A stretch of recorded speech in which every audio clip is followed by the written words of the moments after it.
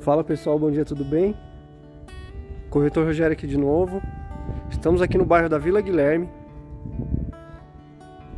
trazendo para você essa nova oportunidade, uma captação de uma casa bem interessante. Tá? Praticamente toda a mobília da casa está ficando, tá?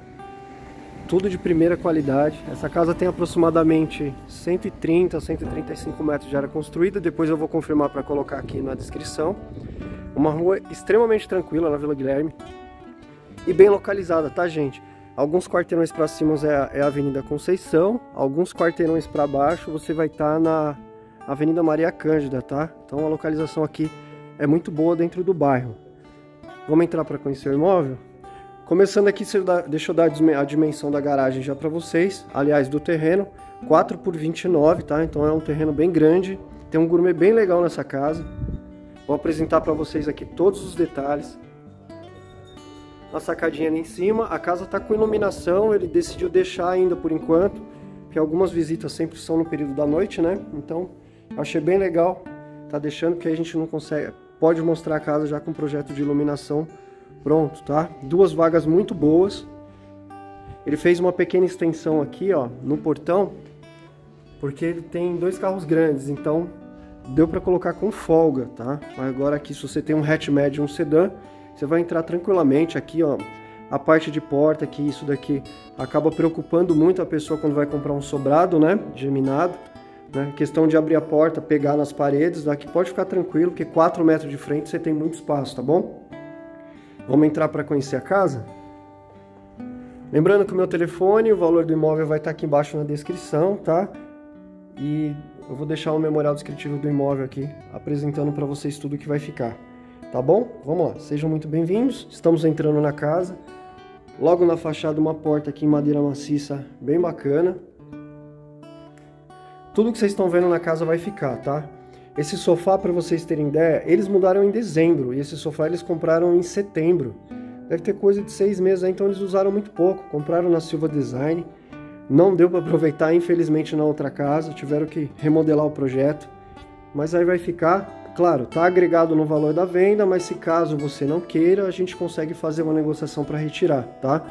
Mas eu não tiraria nada. Essa casa, o que ficou na casa aqui é tudo de muito bom gosto. Aqui a gente tem uma clarabóia, tá? Essa área aqui de fora seria um jardim de inverno. Dá para fazer um solário também, alguma coisa do tipo. É um espaço grande, muito aproveitável, tá? Aqui é a sua sala. Aqui não ficou dois ambientes, por quê? Porque o sofá é muito grande e a cozinha tem espaço para colocar a mesa, eu já vou mostrar para vocês. Revestimento aqui todo em porcelanato, polido, tá? O teto ele não foi rebaixado, o pé direito então da casa é essa altura. Só ficou, foi colocado algumas sancas. Até o lustre aqui que vocês estão vendo vai ficar, tá gente?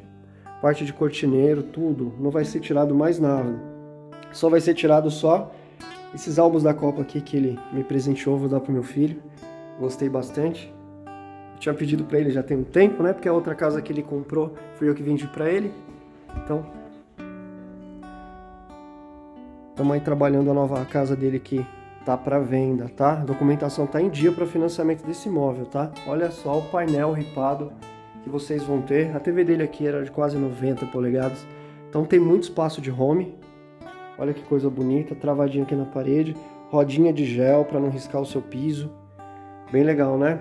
Só mais uma vista da sala para a gente ir para a cozinha, tá? Aliás, eu vou subir para mostrar os dormitórios, aí a gente desce que eu vou mostrar cozinha e gourmet, para deixar por último, tá bom? Se vocês estiverem gostando do vídeo aí, tiver alguma dúvida, meu WhatsApp tá aqui embaixo, é só entrar em contato, tá? Bora subir para ver a parte íntima e a gente desce e vai ver cozinha, lavanderia e gourmet. Casa grande, gente, são três dormitórios bem espaçosos, até o quarto do meio, o dormitório do meio que geralmente é menor, é um quarto grande, você já vai ver porque eu estou falando isso. Quarto do fundo, vamos lá. Cabe uma cama de casal aqui, então é uma casa que acomoda até seis pessoas tranquilamente. Aqui já ficou alguns, uma escrivaninha, né, para estudo, uma bancada para estudo bem legal. Cortineiro aqui, vai ficar tudo para vocês, gente. Esse armarinho aqui é um pouco mais simples, ele pensou em tirar para deixar o espaço vago. Mas eu falei, pô, deixa o armário aí, às vezes a pessoa está comprando a casa e, sei lá, acaba aproveitando o imóvel. O móvel não está tão não tem tanto detalhe assim, tá bem novinho, né? Então às vezes dá para aproveitar. Cabe uma cama grande aqui de casal. Eu não vou mostrar aqui para trás porque já vai dar no gourmet. O muro do vizinho é muito alto, então você não tem janela para o fundo, tá? Uma casa bem interessante aqui na Vila Guilherme. Se eu não me engano, é a primeira casa que eu tenho aqui na região. A maioria está na Vila Maria, né?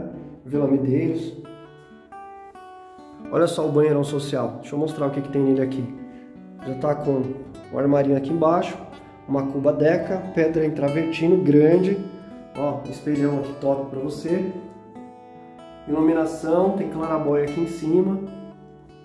Já está com box instalado, jateado, olha que bonito. Bem bacana, né? Olha só o padrão do chuveiro.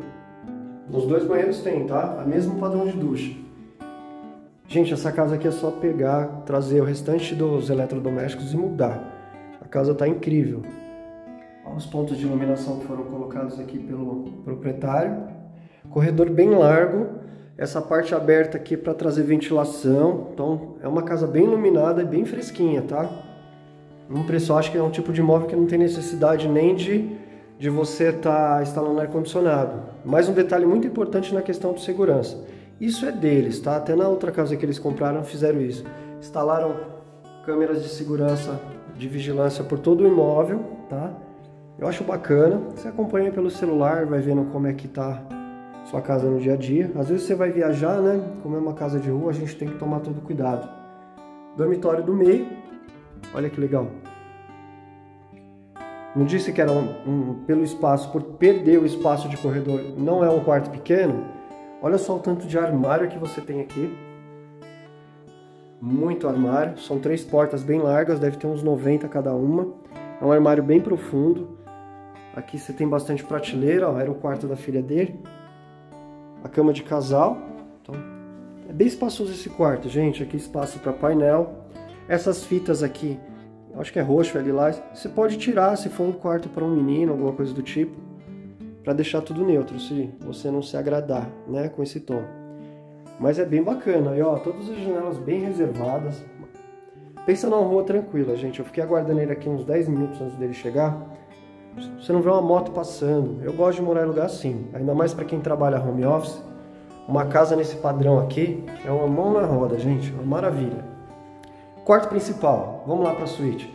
Completar sem armários. Olha quanto armário vai ficar para vocês aí. É uma casa que você não vai precisar fazer nada. Essa casa tem 10 anos de construção, mais ou menos. Então é uma casa, um sobrado novo. Bem novo, tá? E bem cuidado. Olha só, bastante armário. Aqui, deixa eu mostrar para vocês. Isso aqui é, um, é para você colocar a sua TV. Olha que legal. E cabe uma TV grande aqui, tá? Ele tinha me falado qual que são as polegadas, mas passa de 47, cabe até maior.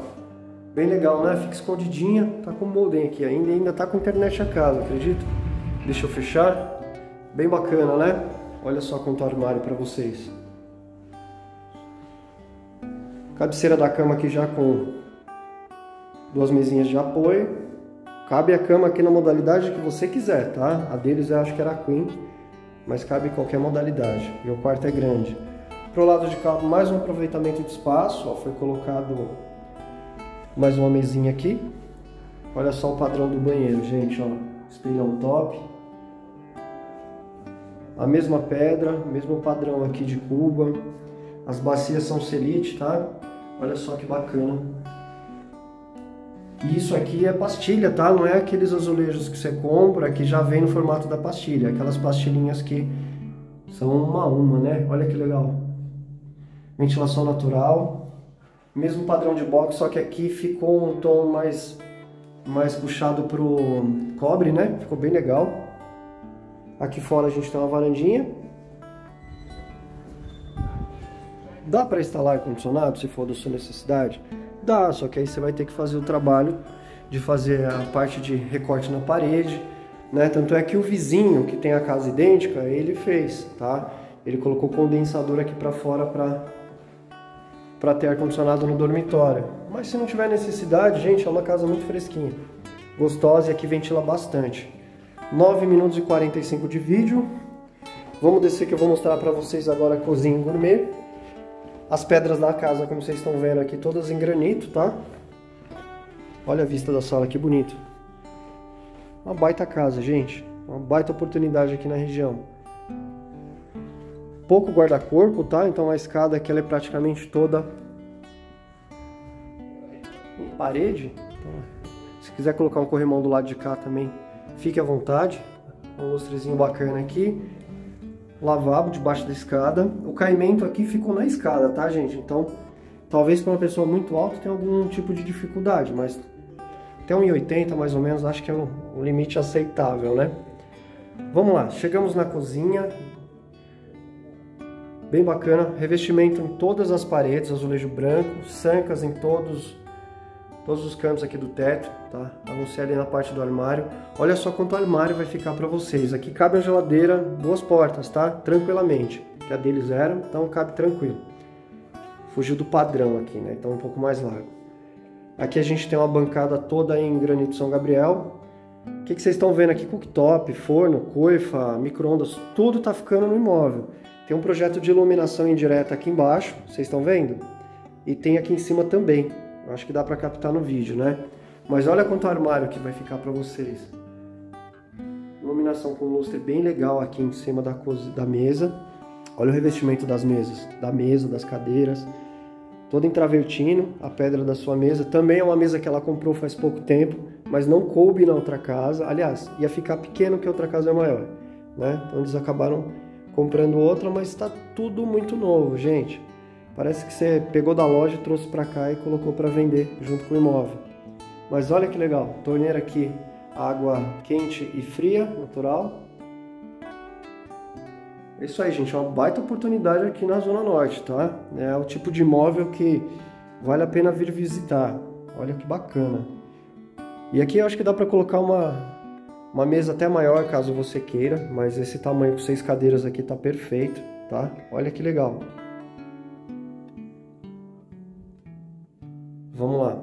Aqui para fora a gente tem o gourmet. Primeiro só a lavanderia toda coberta. Esse telhado aqui foi colocado pelo construtor. Aquele outro ali foi colocado pelo proprietário, tá bom? Então aqui só lavanderia coberta, bem reservadinha. Você vai subir alguns degraus aqui, ó, e já vai dar no seu gourmet.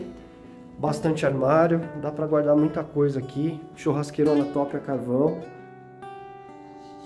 Olha que legal essa casa. Vocês ouviram algum barulho aqui nesses 12 minutos de vídeo? Então, pois é, é assim o dia inteiro. Então, para quem quer tranquilidade aqui na região, essa casa aqui pode ser o que você está procurando.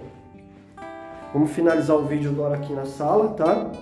Chegando a 13 minutos de vídeo. Qualquer dúvida é só entrar em contato. Espero que todos tenham gostado do vídeo dessa casa tanto quanto eu. Qualquer dúvida estou à disposição.